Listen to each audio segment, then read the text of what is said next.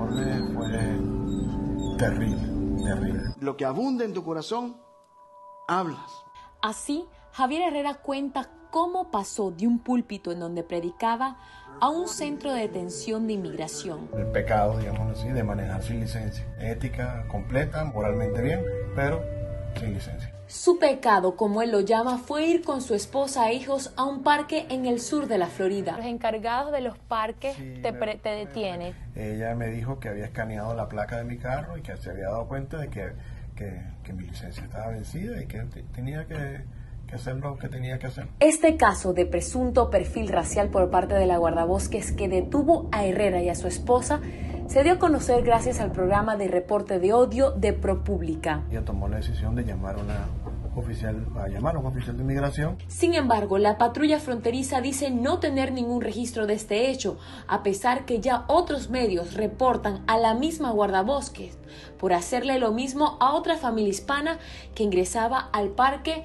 en donde ella trabaja. Por su parte, el Florida Fish and Wildlife Conservation Commission, entidad en donde trabaja dicha guardabosque, indicó, entre otras cosas, que si una persona no puede proporcionar documentación verificable, entonces sus oficiales pueden consultar con cualquier agencia estatal o federal para determinar la identidad del sujeto. Además, los oficiales no reciben compensación de ningún tipo como resultado del incidente. ¿Cuál fue el momento más amargo para ti dentro de ese lugar?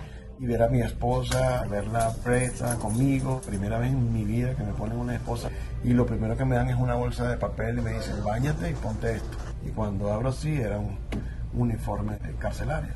¿Lloraste cuando te colocaste ese traje? Sí, lloré muchas veces cuando estaba dentro por desesperación de salir de ahí. Tú aceptas hacer esta entrevista porque también quieres denunciar irregularidades dentro de todo lo que es este proceso de inmigración. Yo como venezolano quedé indignado. Llegan al Estados, a los Estados Unidos con una visa legal otorgada por la Embajada de los Estados Unidos con permiso legal para estar en este país. Sin embargo, lo acosan a preguntas hasta que ellos asumen de que van a ser eh, o se quieren quedar aquí en el país legalmente o quieren eh, pedir asilo y enseguida le meten esposas en los brazos, en la cintura, en las piernas, a lo, separan, a los hombres generalmente lo llevan o a CROM o, a, o al BTC y a las mujeres la llevan a otro lugar en Texas.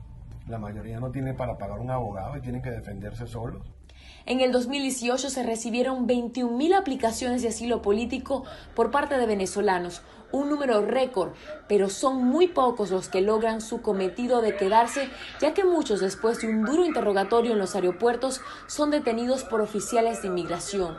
Mientras que dure el proceso de asilo político, están presos. 40 días detenidos le bastaron Herrera para presenciar lo que él llama la irresponsabilidad de oficiales de inmigración, los llamados deportadores oficiales de inmigración tienen un horario bien restringido. Bueno, si tú vas un martes, puede ser que tu oficial de inmigración no vaya. ¿Qué significa? Que tú no vas a ver a tu oficial de inmigración hasta una semana después. Pero es que tú no estás en un paraíso, tú estás en un lugar de detención y ahí, por ejemplo, oficiales de inmigración que son nice y son amables y son corteses y educados, pero hay otros que no. Y, estando ahí no es fácil conseguir todo porque uno está ahí sin acceso a nada. ¿sabes? El correo es lento. Eh, no tiene acceso a internet. No tiene acceso a internet no hay. Tienes que llamar por teléfono a alguien que esté afuera que por favor te lleve los papeles otra vez. Herrera, quien también escribió el libro ¿Cómo puedo ver lo que Dios dice? aumentó su fe durante su encierro.